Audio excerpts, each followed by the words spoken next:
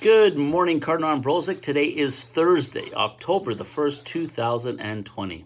And how about that? We got through the month of September, and here we are on the 1st of October, working towards Thanksgiving. Uh, I said it earlier, and I'll continue to say it. Uh, we're going to get through this. We're going to do this uh, as we always do as Catholic teachers and educators. And so, um, uh, job well done, Cardinal Ambrozic. So this morning we have a few announcements and then we will have our morning prayer. Uh, first announcement is for all core team members of Cohort A. Uh, today we are meeting at 10 a.m. for our weekly check-in. Uh, hopefully all of you will be able to make it. So again, core uh, cohort A core team meeting today at 10 a.m. on Zoom. Also, a couple of announcements for grade 9 students. The uh, A team is having a raffle for you, and I believe a link was sent to all teachers. And so we ask that teachers please provide that link to your uh, grade 9 students. And to join the raffle, uh, to be part of the raffle, you have to submit it or fill in the link uh, no later than Monday. So again, uh, A-team raffle taking place next week on Monday, and I believe it includes a bunch of spirit wear. So uh, grade 9 students, get your hands on that. Make sure that you uh, find that link and uh, fill out the form so that you can have an opportunity to win some spirit wear.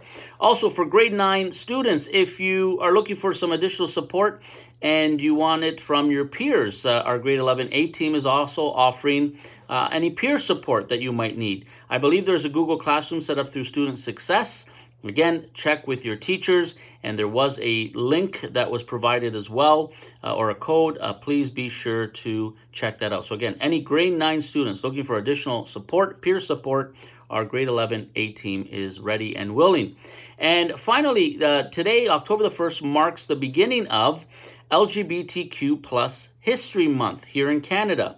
And so our Spectrum group uh, will be um, uh, very involved this month, uh, providing lots of updates and information and education on the history of the LGBTQ plus community here in Canada. So proud of our Spectrum group. If you do want to follow them, uh, you can follow them on Instagram at, at Ambro Spectrum. No, at Ambrozic Spectrum. You know what? Minority should have uh, this information ready. Uh, you might want to check, but if you were to go on um, Instagram and type in at Ambrose Spectrum, I believe you will get that link. And if not, just type in Spectrum, Cardinal Ambrozic, and uh, you will find us. Uh, and with that, uh, as we pray this morning, let us continue to pray for uh, a decrease in the numbers that we're hearing daily of the COVID positive COVID 19 cases. let's pray for courage. Let's pray for strength.